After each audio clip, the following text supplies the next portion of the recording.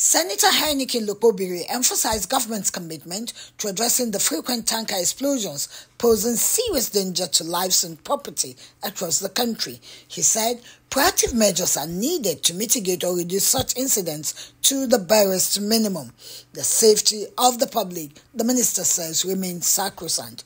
Our own um, uh, contention at this particular time is to collaborate with you, you know, so that you'll be able to um, uh, intensify, you know, your efforts to ensure that only, you know, tankers or you know trucks that are certified roadworthy, yes. you know, that should be allowed to carry these, you know, products. We want to also, you know, um, you know, use the, this opportunity to also, you know, uh, solicit for your support in certifying the tanker drivers that drive, you know, uh, these trucks. He urged the FRSC to intensify its collaboration with the Ministry of Petroleum Resources and its key regulatory agencies, including the Nigerian Midstream and Downstream Petroleum Regulatory Authority, in order to achieve the highest safety standards in the transportation of petroleum products and address the underlying issues leading to avoidable accidents. The Corps Marshal Shehu Mohammed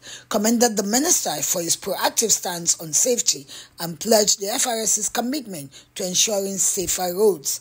The Corps Marshal also reiterates FRS's commitment to partnering with the ministry and other stakeholders towards ensuring safety on the roads and safeguarding the public.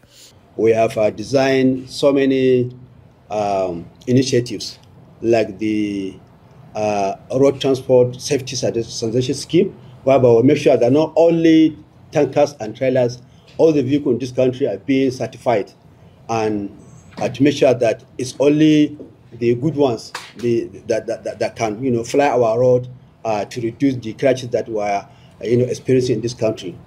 The FRSC boss reeled out strategies to ensure the highest level of safety in the transportation of inflammable products, including petroleum. The minister expressed optimism that the partnership between the FRSC and petroleum sector agencies will yield positive results. He also commended the FRSC for its tireless efforts in promoting road safety policies and enhancing public safety.